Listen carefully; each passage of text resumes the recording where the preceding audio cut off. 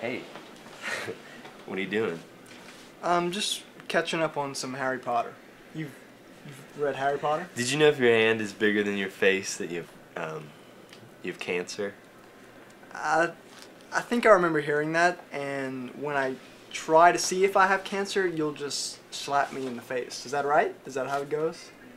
No, dude. I'm like I'm your friend, Hmm? and no, what?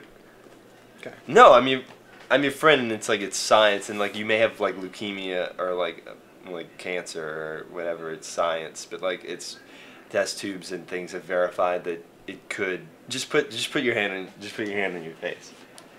Put my hand on my face right now. Yeah, yeah. Just put your hand. And on you're your- not gonna slap No, I'm not gonna. I, I swear, swear to, swear to God. And this is scientifically proven that um, I'll have cancer if my hand is bigger than my face. If your hand is bigger than your face, I guarantee you, you will develop a cancerous, Great. yeah, lifestyle. No, All right, so do it. put your hand up to your face. So, do I have cancer? Yes.